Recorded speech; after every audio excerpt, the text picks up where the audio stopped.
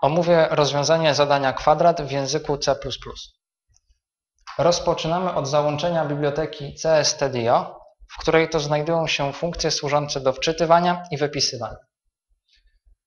Deklarujemy funkcję główną int main i piszemy klamerkę otwierającą.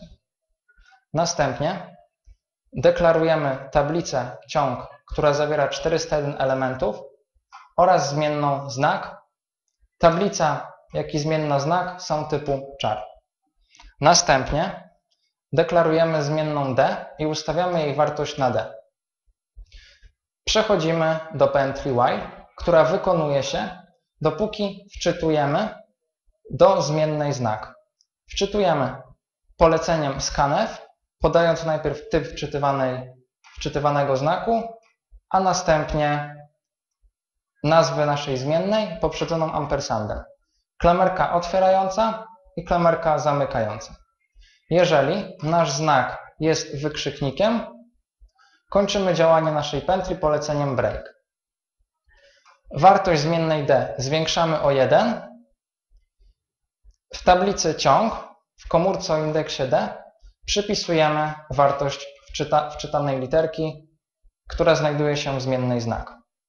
Następnie deklarujemy zmienną bok i ustawiamy jej wartość na 1. Przechodzimy do pętli while, która wykonuje się dopóki bok pomnożony razy bok jest mniejszy od d. Wówczas bok zwiększamy o 1.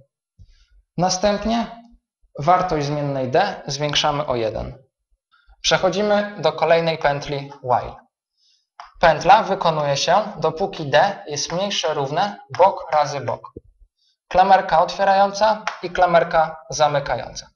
W tablicy ciąg w komórce o indeksie d przypisujemy gwiazdkę. Następnie wartość zmiennej d zwiększamy o 1. Przechodzimy do kolejnej pętli for. Ustawiamy licznik i na 1 i wykonujemy pętlę, dopóki i jest mniejsze równe bok. Po każdym przejściu wartość zmiennej i zwiększamy o 1. Klamerka otwierająca i klamerka zamykająca pętlę for. W tej pętli znajduje się kolejna pętla for. Rozpoczynamy od licznika równego 1 i wykonujemy pętlę, dopóki j jest mniejsze równe bok. Po każdym przejściu wartość licznika j zwiększamy o 1. W funkcji wypisujemy znak. Znak to jest element tablicy ciąg o numerze j minus i pomnożony razy bok plus 1.